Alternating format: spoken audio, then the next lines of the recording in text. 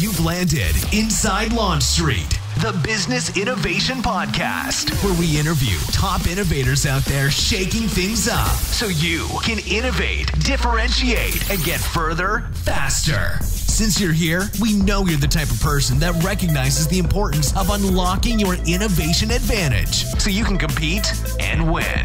And now, your host, the person that has worked with leading companies like Disney, Procter & Gamble, Arrow Electronics, the US Army Research Labs, and Red Robin on upping their innovation advantage. Tamara Ghandour. Good morning, afternoon, evening, Launch Street, wherever you are. I hope you are having a phenomenal day. I know I am.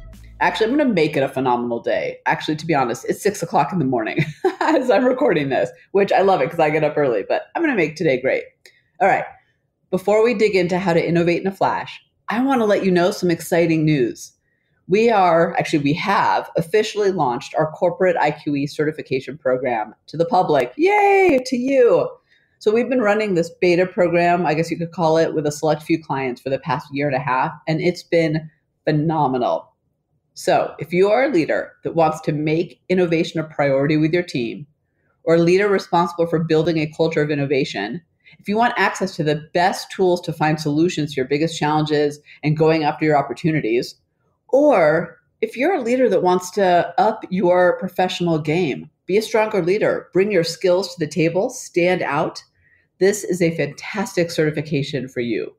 You'll learn all the ins and outs of unlocking your strong innovation strengths, the things that get you the competitive advantage, and unlocking the everyday innovators on your team, tapping into the power of diversity of thinking on your teams, and have the tools for all of you to lead innovative conversations and ideas daily. So if you want to learn more, reach out. We'd love to talk to you about it. Just email us or go to our website to learn more. Click on the team training page. Okay, on to today's interview with Roger Firestien. I really appreciated this interview because we did some live work on air. So you could actually see how the tools he was talking about, how to actually implement them. Because as you all know, nothing bothers me more than like talking in these platitudes and in like, you know, hyperboles and like in theory this should work. We dug in today to make it actually work so that you could see it in action. It is so cool. And we discussed solving the real problem, not the superficial one, and why innovation is for everyone. So, Roger L. Firestien, PhD, has trained more people to lead the creative process than anyone else in the world. He is a senior faculty at the Center for Creativity and Change Leadership at SUNY Buffalo, president of Innovation Resources, Inc., and author of the new book, Create in a Flash. All right, let's do this. Roger, thank you so much for joining me today. I have a feeling um, you and I are going to have a very lively conversation. I agree, Tamara. It's going to be a great session. So tell us, Roger, what's one thing people would be surprised to learn about you? Well, one thing that people would be surprised to learn about me is that I work cattle on a farm for fun. And here's the story behind this. I grew up on a farm uh, in near Greeley, Colorado. And I left the farm in 1978 to come out to Buffalo, New York to study creativity and innovation at the Center for Applied Imagination, the only place in the world where you get a Master's of Science degree in creativity studies. And at the time, it was like I didn't want to have anything to do with the farm. And then a number of years ago, I ran into a fellow who uh, works a cattle farm, who owns a cattle farm about uh, 38 miles from here. And we became good friends. I went through some challenging times, and I, uh, I, I called him up one day and I said, Phil, you need some help. And so I went out and I helped him out. And ever since then, I go out there about every two to three weeks just to work on the farm, to drive a tractor, to deal with the cattle. There's about 400 head of cattle. And I call it farm therapy because what it does is it away from the usual day to day things that are going on. And I get to do something where I get to see the actual results, see a field plowed, uh, see changes, uh, some real tangible results. And so that's it's farm therapy, and I work cattle for fun you know, it's interesting that you, it's a great story and interesting that you mentioned that because I was just talking to someone the other day about the fact that I really crave doing something with my hands like welding or i don't know building with wood or i don't i mean i'm probably not even using the right language but you know what i mean. Because i do think there's something really uh, satisfying and engaging and it just it it engages your brain in a different way that you just don't use and everything we do is so digital these days that I just um, crave that tangibleness of it all. You know, Tamara, and I get this feeling when it's time I need to do farm therapy, and I talk about this in the book, Create in a Flash. I get a little antsy, you know, my writing gets a little stale, you know, it's like um, teaching at a university, it's get a little antsy, and I just need to get out there. And I think it does a couple of things. First, um, you know, I'm working on this tractor, I'm doing stuff that Phil tells me to do. I don't have to make decisions. Mm. The other thing, that's as nice you break. mentioned, yeah, that's the thing, yeah. The other thing is that there's a real tangible result. If I go out and bush hog a field, which is to knock down all these weeds so the cattle can graze, I see this really rugged field before and this very smooth field afterwards. And there's something about that. You know, bringing in 100 bales of hay in a day, there's something about that. At the end of the day, you're exhausted, but you see the tangible results. And I think in our business, much of the time, you know, in education and when you're when you're working with clients and stuff, you don't see that tangible right. result right away. A lot of satisfaction in that. Yeah, I could totally see that. Um, thank you for sharing that. So I actually, you know, we're talking innovation, creativity today. I wanted to actually back up and talk to you to start with, really to set the foundation, mm-hmm. your definition of creativity, because I think that's a word, and you know, I play in the innovation space. It's the same thing with that word. Sure. You ask ten people what it means, and you get fifty different answers. And oh, yeah, and I think creativity in particular actually comes with a little bit of baggage. People think, oh, it's artsy, it's you know, painting and doing photography and dance maybe. Um, but your definition of creativity has the combination of the words novel and useful. So tell us more about your definition and why those words Yes, and, and that's not really my definition. It's the definition of the creativity scholar Morris Stein. And what he did was he looked at all the definitions that were out there, and there are, as you're aware, about 60 or 70 different definitions out there for what creativity is. And he boiled it down to the very essence of what creativity is. And he believed it's novel, that's useful. And so I think all of us would agree, and there's different levels of novelty and usefulness. Um, right. I think all of us would agree that for something to be called creative, it has to be novel right? Yeah. And uh, but so uh, so for example, if you take a look at a smartphone when they first came out, they were both novel and they were useful. And tomorrow, I don't know if you remember this. Do you remember the Pet Rock? Of course I do. I'm a Gen Of course. yeah, absolutely. Novel, not very useful. All right. you know what? That's how I feel about the Chia Pet, and it's still here somehow. Oh, that's my next one. Oh, I can't believe it. This is the next one in my notes. Is a Chia Pet. Novel, not very useful. I no. can't believe that you said that. I, just, I, went right. That's where I went right to the chia ch ch. Take it out of my head. let me ask you about novel for a second, though. Let me dig into that because I think people, when they hear novel, think it needs to be this new to the world, blue skies. My God, this is such a breakthrough. And when I think about the iPhone, kind of the example you gave, mm-hmm it, that what was novel is taking a technology that existed and making it user friendly right the mm-hmm. what apple did wasn't create the technology that hadn't existed they repackaged it in a way that made it useful so i just wanted to get some clarity around the word novel because i do think it in some ways scares people to think oh my god i have to come up with something new mm-hmm. never been thought of ever in this world Yes. Well, let's take a look at novel in two ways incremental and disruptive. Mm. So, if we take a look at incremental novelty, this is making a system or a process or a procedure safer, more efficient, more effective. That's very creative, but it might not be disruptively novel. And so, disruptive novel is where people are really kind of focusing on, oh, I, I can't come up with this great new idea. I can't come up with this thing that changes the world. Well, um, creativity is just important to make those small changes, particularly in organizations. Uh, a whole bunch of small changes can really make a difference regarding right. and those sorts of things. And I think, you know, the small changes, you know, uh, Tamara, as we talked about, they kind of get a lot of bad, they, they don't get the press yeah. the big stuff yeah. gets. And I think it also has to do with the definition, you know, uh, and we can go to that in a minute if you want to talk about that. Yeah, go ahead. Well, and I think you know one of the things we talked about earlier is how people sabotage or hinder their creativity, and I was as I was thinking about this, I really believe it has a lot to do with how we define creativity mm. or innovation. And most people don't think they're creative, or most people don't think they're innovative. And that's why I like the work of the researchers Ron Beghetto and James Kaufman. And what they've done is they've taken creative, all right, and they've taken it down in what they call their 4C model of creativity. And so, one of the four C's is the big C, and you know those are the Einsteins, the uh, the uh, Charles Darwins, the Grace Hoppers, the Hel- Helen Kellers, Then there's the little c, and this is the kind of creativity that we do every day. You know, in talking about the farm, this is fixing a piece of farm machinery with a, you know, some wire and tape. Or if you look in your refrigerator, making a delicious meal out of the leftovers. Or if you're my mother, making a quilt out of scraps of cloth that's absolutely beautiful. That's little c.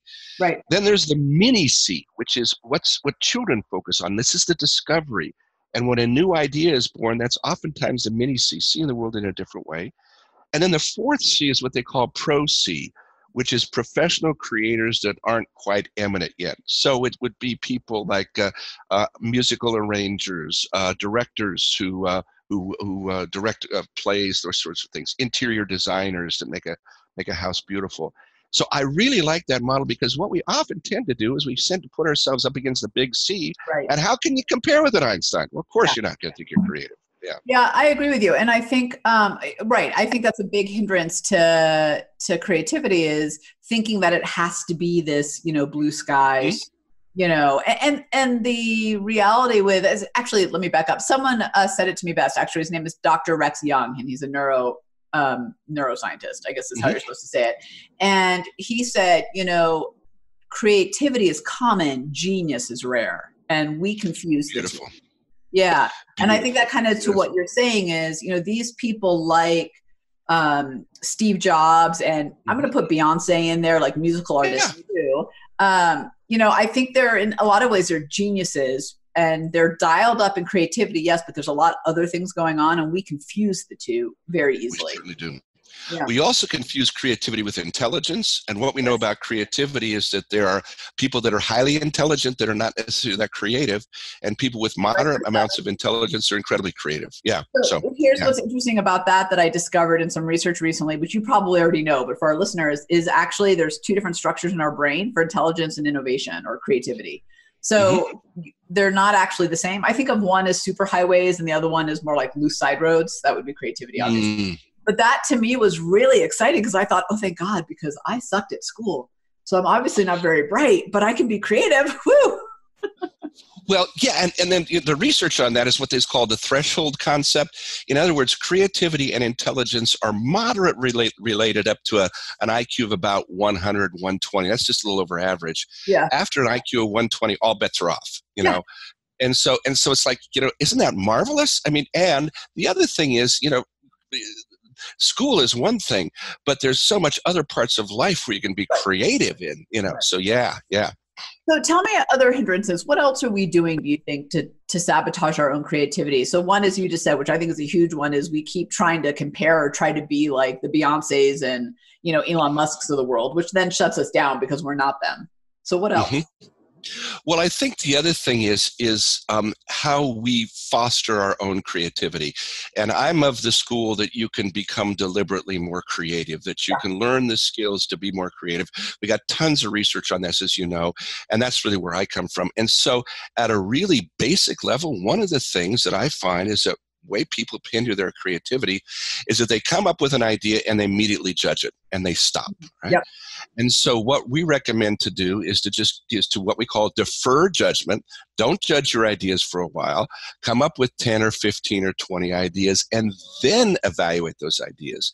But don't try to judge and generate at the same time. And one of the favorite analogies around that is, is you don't try to drive a car with your gas with your foot on the gas and your foot on the brakes at the same time. Mm-hmm. It doesn't it's not good for the car and you don't get very far. So it's right. the alternation of generating ideas and then evaluating those ideas. I think that's the number one thing yeah.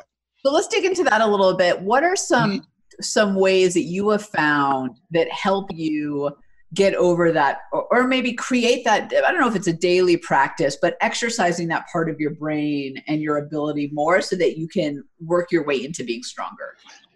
You know I think the real essence of this is making connections. And I mean, if you take a look at the history of creativity, what it is is connecting things in a different way than people had thought of before. And there's a wonderful story about this about how the Nike trainer was originally invented. And the idea came from Bill Bowerman was trying to find a way for his athletes to grip the new AstroTurf, artificial turf, without the, uh, the spikes in their shoes. And he'd been working on this problem for months uh, he and his wife are having breakfast one morning. She's making waffles.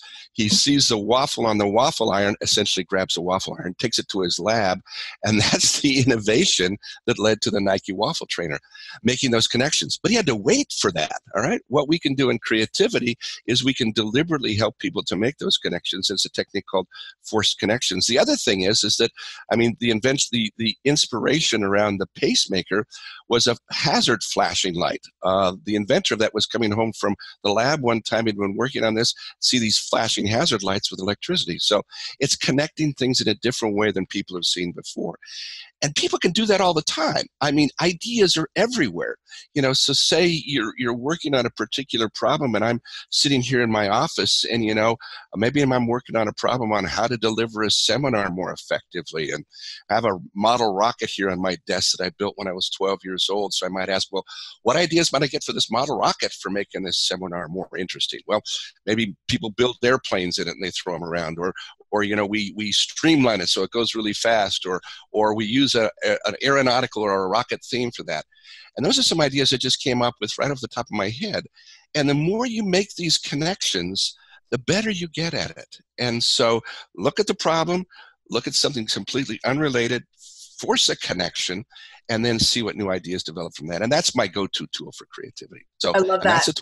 thank you one of the stories I've heard, and I actually have never proven or disproven it. So tell me if you know if it's actually okay. Real. But I like it. It sure. works for what we're talking about, so I'm going to use it anyway. Um, is that Southwest was trying to speed up turnaround time at the gate because you know okay. if that's slow, that delays everything through the day. Mm-hmm. And so, but instead of looking at other airplanes, so other people, companies, processes in their industry, which is what most of us tend to do, which gets us to be very myopic because we're just looking at people doing the same right. thing as us they went and said, well, who else has speed issues? And that led them mm. to the Indy pits, where ah. right they got to be in and out of the pits in a flash. So I thought mm. that was interesting, and I love that. I love the reason I love that story. And if someone is listening from Southwest, can you call me and tell me if that's true or not? Because I like it. yes, please do. Yeah, I love Southwest. Yeah. What's not about Southwest? Um, right but but what i love about it is it's a very simple question of who else has the same problem i have. So if i don't know where to look it's a really easy way to go outside of my field um, without being mm-hmm. so random that i don't know how to pull it back. Yes yes. And it's really interesting too when I do idea labs where we bring people together to work on specific problems in an organization, and I'm sure you've had this experience as well, people will say, Well, we're working on a technical problem, so we need to get all the technical experts yeah, in right. the room to work on the problem. I say, Well, if the technical experts haven't solved it, why have more of those folks in here, all right? and I get this look, it's like, uh? it's like, so what you need, get people that have a different perspective, you know, people that don't know what can't be done, and then that really really spices it up. But yeah. um, you said a couple things I just want to highlight because I think they're important uh-huh. on Launch Street. One is you had said uh, a minute ago about don't basically innovate and analyze at the same time, which is something yeah. I, I, I, believe in and talk about quite a bit because we do we shut Absolutely. we shut down our own innovation. Our brain can't do both at the same time. To your point, mm-hmm. gas and brake. Um, but but I think the other thing that you said in there that is important to pull out is you know when you have that quantity of ideas if you let yourself go wide first and then give yourself a break before you analyze. Don't you find too that that gives your brain an opportunity to mull it over and even make those ideas better? Because i don't know if you find this but sometimes i find that like i, I get a, a, a, creative idea i write it down and if i actually give myself permission to just let it sit for a bit i can actually make it better but we don't even do that. We try to rush to analysis Yes, yes, and yes. uh, first off, we have some research, and this is kind of based on some of my own experiences, that after people participate in an idea generating session where they're working on a particular challenge, where they say they've come up with 20 or 30 or 40 or 50 ideas, they can do that in a very short period of time. We can talk about that if you'd like a little bit later. Then give them a pause, give them a time to just get away. And so, if you have the luxury to do that and you're doing a seminar or something like that, have that uh, you know so that people end the day with something like that. Yeah. and then what i tell people as you've experienced write those ideas down when they come to you because they're going to come to you because you've stirred it up in your subconscious or, or where all that stuff is working.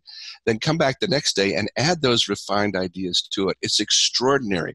The ideas tend to be a little bit of a different quality as you mentioned a little bit more well developed yeah. a little richer because you've had the time That's to simmer marinate on it yeah yeah it's beautiful Yeah. yeah, richer is a great way to say it. It's not necessarily that they're better; they're just there's more to them for sure. Yeah, a little bit more detail to it. Yeah, yeah.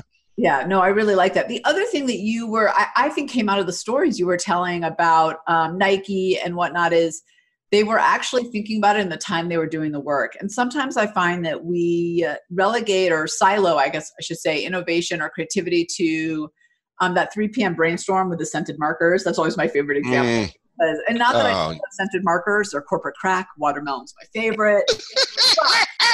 right? That's, that's not when we're doing the work. And the stories that you shared, really, those flashes of insight. I mean, the waffle iron was in the kitchen, but it's because it wasn't in a conference room that he came up with. No. It was in the field doing the work. And I think I'd love to get your perspective on this. It seems like sometimes we think that the only time that creativity should happen is when we schedule it in that meeting. I am so glad you asked this question because when I begin seminars and workshops, I, I give people this scenario. I say, I'd like you to imagine a problem that you're working on, and it's been nagging you for a while, and you haven't solved it. But then the idea came to you. And where did that idea come to you? And there's basically three places, four places where it comes to you. One, while somebody's driving, okay? Yep. Two, while they're working out or doing a run. Three, while they're falling asleep. Or four, while they're taking a bath or a shower, all right? Yeah. And it's because that judgmental mind has just been sort of like lulled uh-huh. down. You're paying Yeah. attention to something else, and the idea bubbles up.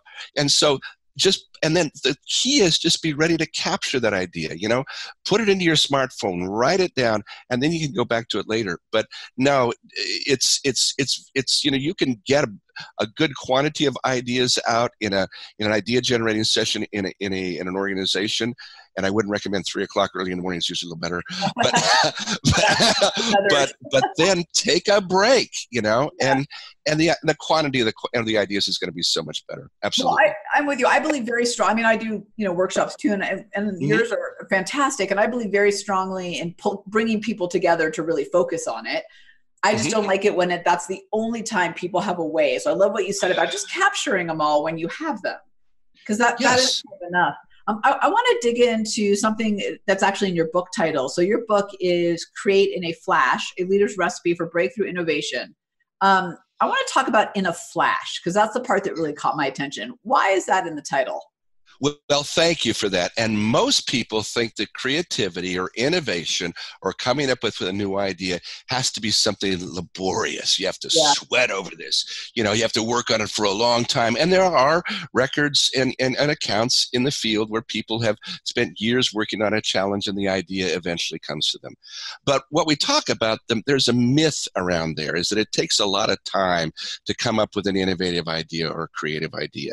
And it goes back to what I talked about earlier about being deliberately creative. Um, my job is to train people to use the behaviors that help them to come up with more ideas in a much shorter period of time. So if you're training some of these creative problem solving techniques, like what we talk about in the book, deferring judgment, striving for quantity, making connections, you put together a trained group of that of about seven to eight folks. And in 10 minutes, it's not uncommon to come up with about 100 ideas. Yeah. Now, that's just half of it, as you know, all right? Uh, the other half of it is sorting through those ideas and finding and developing those ideas. And so we talk about in, in, the, uh, um, in, in the website, we, uh, uh, we have 20 videos that accompany the book. We actually show you how to select ideas and refine them and build them. Um, but as you know, it's, it's, it's a good idea generating session is not leaving the room with a bunch of ideas up on the wall. It's leaving with some action plans and some next steps. So, so, and then by being, being deliberate about that and deliberately separating the evaluation of the generation of ideas from their evaluation. And so, um, the other thing is that I tell groups and, and folks too is that if you're spending 10 or 15 minutes generating ideas, you need to spend about the next 45 minutes to an hour selecting and evaluating those ideas because creativity comes in the selection as well. So, talk to me a little bit about. I think you're gonna have a lot to say on this. On two things. One is the importance of quantity on the front end, and the I don't know how to say this without sounding like a jerk, but let me just say it: the recognition that some some, some i- many ideas don't need to go forward, shouldn't go forward. Um, You know that you really do at some point need to be critical and say not every idea is a good one or good for Mhm. now, I should say. Right. Um, so, talk to me about those two things. Well, you know, there's a difference between an idea and a person, and oftentimes people Ah, associate yes. the person. Yeah, right. Yeah, yeah. That's me. That's a piece of me up there. Well, what tends to happen is when you start to generate those ideas so quickly, other than trying to be a handwriting analyst, you don't remember where the ideas came from. The other thing is, if you take a look at ideas and as they develop, what you might find is that, and, and if you track it back, you might get a really cool insight at idea, say like like 25. But if you track it back to idea 20, something kind of goofy might have come up there to lead it in that direction, something off off off the page. And so that idea might not get selected, but it will lead to an idea that did get selected that led to a better idea. And I like to use the analogy of a wedding photographer. We went to a wedding a couple of years ago, and it was this big, wedding, and we had a great time. And there are these three photographers all over the place. And as the evening went on, I'm walking around the uh, the event uh, center where the where the wedding was, and I'm seeing the photographers. They're putting together their end of the wedding show, and I said, "How many pictures did you guys take?" And the boss photographer says to me, "He goes about three. I said, "What? About three? What do you mean three? So we took about three thousand. Like, wait a minute. Like, wait a minute, 3,000 pictures? Yeah. And he said, what we do is we show the bride and the groom here about, uh, yeah, about 950 or something like that, about 900. They pick the top 50, all right? They said, we delete the pictures that they don't pick, all right? So, you know, 50 pictures are less than 2% of all the pictures that they took that day yeah. and we get we, we get a lot more than 2% when we come up with ideas so if you're coming up with ideas so quickly building on those ideas quickly you don't get that emotional attachment to it. Uh, also by not judging them you don't have to defend it. It's like hey here's another idea here's another idea here's another idea. And and so you don't have all those dynamics that go along with it. So but yeah think of uh, ideas like photographs like wedding photographs. I, I love that and i really appreciate what you're saying about like there's a difference between people and ideas and i do think Mm. that oftentimes in the workshops i've attended some of the mistakes that have been made are, the biggest mistake i should say that's been made is that people the way the workshop is set up it's you're debating people not ideas Ugh. um, and i think part of that is lack of quantity uh, so Mhm. that you get attached to what's that you know the four sticky notes on the wall right what, what other ways do you have to make sure that everybody's focusing on the ideas and not each other? Because I, I think that's actually a huge issue. Yeah. Well, there's one key thing, and the key thing is a warm up exercise. And we talk about some warm up exercises in Create in a Flash. But what the reason why these brainstorming or these idea sessions are, are go awry is because the group hasn't warmed up. Just like you warm up for physical exercise, you need to warm up for mental exercise as well.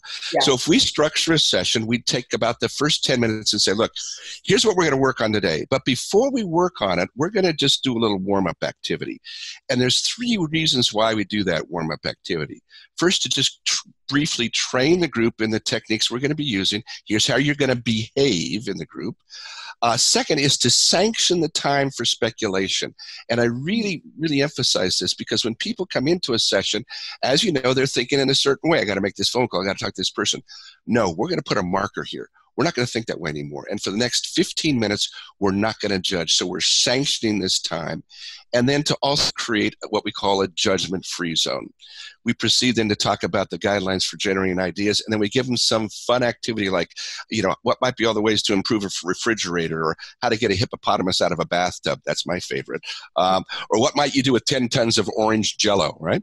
Do that for five minutes, right? That's it. And you'll try some of these connections and stuff. Then work on the challenge at hand. And what that does is it dramatically changes the energy in the room. And as you know, you're managing energy when you do these, these sorts of things. Dramatically changes the energy in the room. People have fun with it, they laugh, then they work on the challenge at hand. And, and we have research that's, that supports it in a trained group is producing more ideas, being more effective. There's more laughter, more smiles, significantly less criticism around that. So, and it's funny too, because I'll start out with my graduate students or folks that are just learning this, and they'll say, I can't do a warm up activity with these, these corporate presidents or these army generals. Oh yeah, they yeah. love stuff like that. They love it. They love it. Yeah. Yeah. Well, yeah. and I think it's also how you frame it. And Yes. what, what I have found that if I share with people, hey, we're going to do these first so that we can warm up, um, Mhm. you know, so that we can get our minds thinking in that direction, they're more than willing. And frankly, everybody's looking for fun at work. I mean, come on, You got it. we're in front of Yeah. all day. But, but I really appreciate that because I, I think all too often we leap into the meat of the Mm. work And we're not No. ready. You're not ready because you're still thinking the same way. And to your point too, you don't overdo this thing. Five to seven minutes, that's it. Otherwise, people are going, "Hey, are we going to work on improving a bathtub all day?" Because I'm not here for that. You know, you No, get right. the energy up and you work on the challenge at the end. Yeah, No, that's right. And I think if you set it up as well, here's why, we're here's the purpose, people are willing to play along. Even the kind of naysayers in the room, you just have to tell them why. yeah, exactly. And they buy into it. And and I love, you know, um, you know, uh, legitimate skeptics. You know, uh, well, how does this work? Well, we have research to prove it. Well, and then what happens is they experience this and they go, "This has been one of the most productive sessions I've ever been in." You know, wow. Yeah. One of the things, actually, I'd love to hear your your thoughts on this. I was uh, again talking to somebody yesterday about this, and uh, actually in a podcast I was being interviewed on, and I was on the other side of the table. How did that feel? Huh? so here's what I was talking. We're talking about yes, but, yes, and and yes, yes, buts. And I was saying that I feel very strongly, and and I think my experience has shown that we need the skeptics. We're afraid of them, and we say they don't get it, they don't understand, they're like you know they're just naysayers. But they see holes and things that we Mhm. don't see. So I love the skeptics. And I think the Mhm. big mistake that a lot of us who are pushing creativity and innovation make is saying, oh, it should be all yes and all the time. And I don't, I personally don't believe that. I think constructive conflict is key. And I'd love to get your thoughts on, on how you think about the skeptics and kind of conflict in a way that's healthy for innovation. That's beautiful. And I think that happens earlier on in the process. And when we talk about the creative problem solving process, first identify the goal you want to work on, then reframe the problem by asking creative questions. When you've got a good question that you want to work on, generate some ideas, and then build some action plans. The skeptics come out really well in this stage of clarifying the problem. Yeah. Because when you, when you get the data out, they begin to say, well, we can't do that, we can't do that.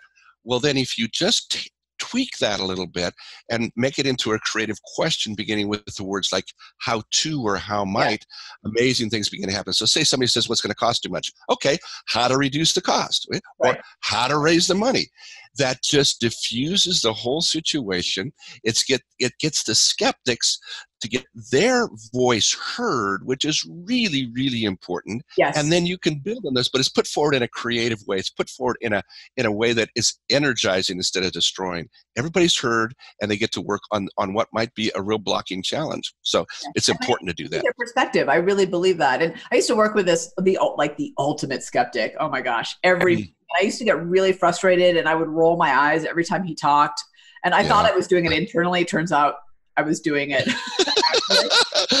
busted uh, but but what I learned with him to do is when I would present anything, I would say, so you know, we'll just call him Bob. So Bob, you know, help me help me understand what challenges do you see and how would you Mhm.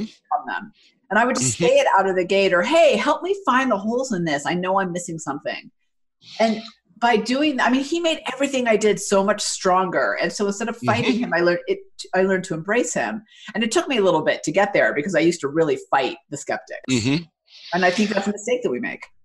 Well, and there's a tool that we use that we in, in, when we're developing ideas. It's called pluses, potentials, and concerns. Oh. And so when you have an idea, you get out there, you take a look at the pluses of the idea. What's good about it? What's the potential? What might be the result if the idea or was implemented? And then what are the concerns? What are the downsides or the minuses? But they're phrased like a how-to. You overcome the concerns, the idea gets incredibly strong. Yeah, that's and so back to your point, yeah, there it works. Yeah. I love that, and and I think that really allows all the different perspectives to come into play. And Mhm. I, I would venture to say that it gives people the opportunity to voice concerns, not just yes butters, but just in general, to Yeah. voice concerns. Where sometimes, particularly if there's leadership in the room, you know, you get a little bit of the yes and a little bit of the group thing because you know we're all trying to play along and we want to look smart and we want to, you know, if the boss has the idea, we want to, you know, support the boss. Um, but that gives you a chance to voice those in a safer environment. Exactly right. And, and voiced in a way that's not attacking, Yeah. that's not negative, but it's like, well, how to, or, you know, in what ways might we consider this, or how to find out more about this? You know, somebody might say, we don't have enough information about that. Well, how to get more information about that? Oh, we can do that. right? So uh, say the three one more time. I really want to make the we make sure we all hear them on the on Monster Street. Yeah. So let's see. It's how to, how might, in what ways might, and what might be all the. Mm. What might be all the ways? Yeah. yeah. And, we talk about that in the yeah we talked about this in the book. Uh, find a page here. Uh, 43, 44. Yeah. Good for you for remembering. 45. Wow. I can't yeah, you're welcome. Um, and, and, say the three. The it was what's the something something and concerns. What were the first? Okay, two? yeah. The technique is called pluses, potentials, concerns, or PPC for short. Okay. And first, it's the pluses. What's good about the idea? The potentials. And when you talk about the potentials, we like to use the word "it might." And there's a distinction between pluses and potentials. And this is what makes this technique so strong. Mm. Pluses are what's good about the idea right now as it stands at face value. Potentials are things that might result in the future. And the concerns are the downsides of the minuses. And then we phrase those like a, a how to so we can overcome those concerns. I really like And we that. talk about that um, on page oh goodness gracious here oh step page uh, 102 103 so speaking of pages i want to dig into chapter three ah, clarify yes. the problem yes. and i this one really spoke to me because you're talking about in there about you need to solve the real problem mm-hmm. and i think that's one of the biggest traps that we all fall into all of us do and it's that we're solving the wrong problem yes. so how do we ensure i guess how do we even know for salt so trying if we have the real problem or the wrong problem? How do we even get there? Well i'll tell you based on my experiences facilitating about thousands of these groups there's been one situation only one where the initial definition of the problem was the real definition of the problem. Yeah yeah. So so how do we ensure that?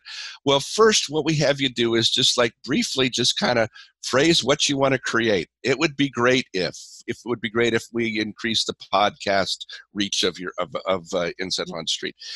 And and so that's not a problem that's a goal or a wish all right? Yeah. Then from there start to break it down and start to come up with as we talked about earlier these creative questions a whole bunch of how to's or how mights or in what ways might the other thing that's crucial is to challenge your initial definition by asking why Okay.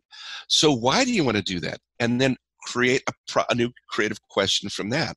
Oh, so I can do this. Well, how to do this? So there's two things. Back to, as we talked about earlier, in generating ideas, the more ideas you have, the better your chances of getting a good idea. The more creative questions you create, the greater are your chances of getting the real issue, the real problem, right? And so once you have those, then you can down on them just like you do with ideas and select the best of those creative questions out there upon which to generate ideas. Now, the other thing is there might not be just one creative question. There might be two or three or four. And that's beautiful because you have two or three or four different pathways to help you to accomplish your goal.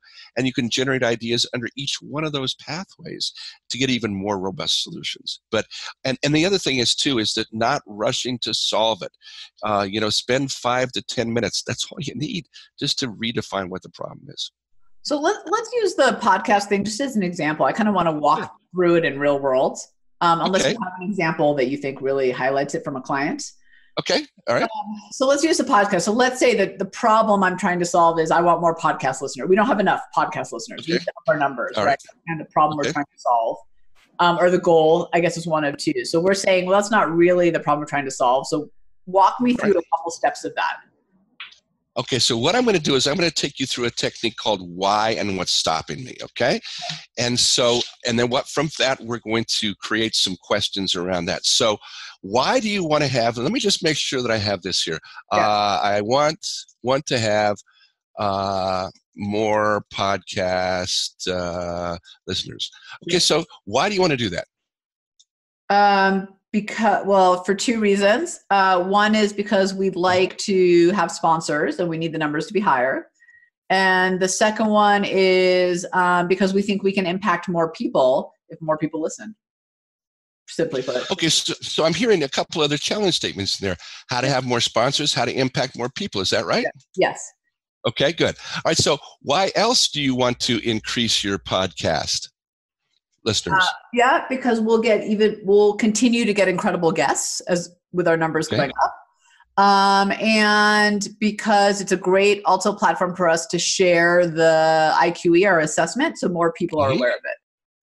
Great. Okay, so let's take that first one. Incredible guests. Can yeah. you take that now and turn that into a creative question beginning with how to or how might? How might we continue to fill our guest slots with people who have done amazing things? There you go. How might we continue to fill our yeah. guest spot with people who have done amazing things? Okay. Then the other one was uh, re- regarding the uh, the assessment. So yeah. how to, uh huh. Um, say to how what's the how might I how might we get, get the assessment more people aware of the assessment? Is that right? Okay. Yeah. yeah. Okay. Yeah. Okay. Okay. So if you take a look at that, um, you've got several more challenge statements there, creative questions, just yeah. by asking why of your original goal or wish. All right. Yeah. So what we came up with how to have more sponsors, how to impact more people, how to get more incredible guests, how to get more people aware of the assessment. Now let's take the other direction. Okay. So is there something in there that looks kind of interesting to you that you might want to pursue? Um, yeah, I guess I guess the part that I actually thought was interesting as I was saying it was was about how do we get more people aware of the IQE? Because as you were mm-hmm. saying that, I was thinking, I don't know if that's a podcast challenge, actually, now that I say that. Bingo. There yeah. you go. And yeah, so yeah. what you've just done is you've just said, hey, you know, that might be a challenge we want to work at over here. That's not a podcast challenge. Right. That might be a whole other challenge. Yeah. Yeah. Yeah. So let's play one, one more time. So well, so here we go. It is how to have more uh, what was it again? How to uh want to increase podcast listeners. So um Tamara, what's stopping you from increasing podcast listeners? Uh, I would say lack of knowledge of how the podcast SEO slash all that works. Okay. It's very uh, behind the black curtain, unlike Google or SEO, like okay. other stuff. Yeah. All right. So now, can you turn that into a creative question, starting with how to or how might? Uh, how might I learn more about what makes some podcasts rise to the top? Okay. Okay. Beautiful. Okay, let's take another one. Uh, what else is stopping you from getting more uh, podcast listeners? What else is stopping?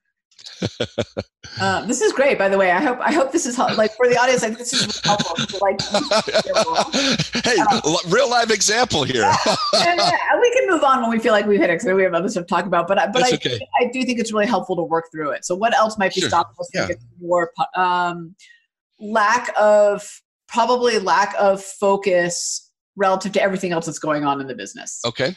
Okay. So, can you turn that into a creative question? Uh, how might I add more energy and focus to the podcast side of the business? Yeah. Okay, one more time. About this time, people's listeners, right? yeah, yeah, the, the listeners, yeah. Their, their their heads are starting to smoke. Okay, so what else is stopping you from getting more podcast listeners? Uh, uh, lack of partnerships. Um, lack of partnerships with other podcasters that can spread the word. Okay, so lack of partnerships. So how might I what? Gain more partnerships with other mm-hmm. podcasters. Yeah. Yeah. Great. Yeah. yeah. Yeah. Which, by the so, way, our podcast is actually doing very well, but I'm always looking to take it to the next level. So. There you go. Okay. I, just, I, just, thought that when you said that, I was like, oh, that would be an easy one to walk through and see where it takes mm-hmm. us. Yes and and just take a look at what we did. In less than five minutes we came up with one two three four five six seven eight nine about 10 different ways to challenge your initial goal or wish or challenge. And you're saying hey that's that that's the goal but here's a way that we can work at so we can generate ideas on how to get more partnerships how to get more focus um, all of that and then take that to action. So and that was five minutes. Roger that was great. And what i what launch street for all of us what i want us to really pay attention to what just happened is first of all that that technique applies to all of us in all yes. but I, I what i found really powerful about that very simple exercise was it made me realize that there are some things that actually can be pulled out and thought about separately and other elements that need to be specific versus just how to get more listeners right mm-hmm. how to capture more market share how mm-hmm. to launch this product like they're that's almost too high level to even yes solve. yeah it's like how to get more sales well yeah. where when right yeah so that was yeah. great and i love that you have it in the book and you do it in those workshops so for Thank launch you. go buy the book go do the workshops with roger because they're really great and, and that yeah. It's on the videos too. Yeah. That's probably a little bit laborious, but I do think it's worth seeing it in action and how, yeah. like, oh, and I was having these little aha moments of like, oh, well, if I thought about it differently. yeah, that's funny how creativity works. Um, uh, that's why I love it. Yeah. Before we have to kind of close out, where can people go to buy the book, learn more, connect with you? Well, you can buy the book on Amazon, but you can also go to createinaflashbook.com. But I think the best place to go would be to just go to my website, to Roger Firestien, R O G E R F I R E S T I E N dot com. You can buy the book there. You can look at the videos. There are 20 videos that accompany the book. They're free. Okay. So whether you buy the book or not, we hope you buy the book. Uh, you can take a look at those videos and you can actually see this why process that we just did uh, with Tamara Happening. Uh, it'll give you some tools with interviews that are people that are doing this. So best place to go, rogerfirestien.com, F I R E S T I E N. From your clients or the people that have purchased the book, what has really resonated with them that maybe even surprised you that you didn't think was like, oh, I didn't realize that was going to be so powerful? That's a wonderful question. And I guess that kind of comes back to the nature of the book. And you have the book, and, and there's a story about this. And if we can maybe do the story, yeah. my second book that I wrote was called Leading on the Creative Edge, and mm, wrote about 20 years ago. I was due for another book. And I gave it to my dad to read. All right. Now, I growing up in northern Colorado, my dad yeah. was a farmer. And so he's reading the book, and, and I called him and I said, Dad, what did you think of the book? He goes, Well, it's pretty good. I got 25 pages into it, then I fell asleep. Where are the pictures? Like, okay. All right. And that's what I did too. Yeah. Oh, Dad. But the thing is, he was a visual learner. All right. I mean, he was a farmer. He visualized what was going on. And so, what we've done in Create in a Flash, as you've experienced, is half of the book is beautiful pictures that really illustrate, um, you know, the the uh, the methods, the things that we're talking about pictures of the people that we're talking about and those sorts of things so the thing is is this has been it, it makes it accessible and, and and and it's something i'm really pleased with. The intention of the book was you can do it in a number of ways. You can read it straight through. You can read it and use the videos in a training program in a in a in a business training program in a college university class or you can pick it up and you can just open a page or two say oh that's cool. Oh that's cool because none of the chapters are more than two or three pages. So i've been talking to people that have been that have the book and and um, i was talking to our college president last night and at uh, at a reception. I said how do you like the book she goes i love the book she said I haven't had a chance to read it all the way through, but what I do, it's in my office, and when I have a minute or two, I pick it up, flip through, read a couple pages, and it gives me some new insights. So I think it's that that people can read it in bite-sized pieces. Also, people in all walks of life can read it. So, you know, people that own my favorite restaurant about five copies, you know, because they're using it there. It was just designed to be really accessible. So the thing that I'm happy about is people are reading it in little bite-sized pieces you know yay you know and that's they're right. using the stuff so yeah that's one of the things i actually appreciated most about the book is it's really more of a i almost thought of it as like a playbook yeah. Uh, like if I were a coach, I would just, you know, whip it out and kind of go to a page and get some insight and some knowledge and then get, get back to work. Versus I think oftentimes, particularly in our space, people write these big platitude books and then they sit on the wall or on the shelf. And I don't think that that's a good use. Well, thank you for that. And that's also the reason why uh, the videos accompany the book because I didn't want to make it a training manual. I didn't want to explain these techniques. And so what we did was we just sat, we just pulled a group of trained people together, spent a day, did a bunch of recordings of these techniques in action. And they're short, seven to eight minute videos, as you know, and you can see pluses, potentials, and concerns in action. You can see the why what's stopping me in action. Yeah. I love that. So, Roger, I can't believe we're out of time, or we went over time. Great. What's yes. your final piece of advice for innovators on Launch Street? Innovators on Launch Street. Final piece of advice is we touched on this a little bit earlier. Two things. One, don't talk to the same people that you always do. Get out, talk to different people. Second, read, listen, watch different material, material outside of your area of material that's not related to your, your, field at all, because in those places, that's the rich source of new connections and new ideas.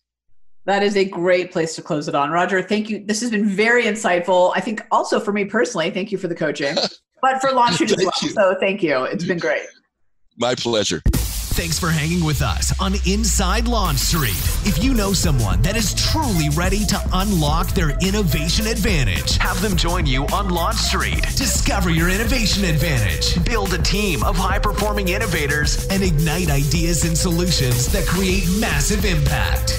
G-O-T-O, launchstreet.com. Remember, innovators, if you don't take the leap, somebody else will.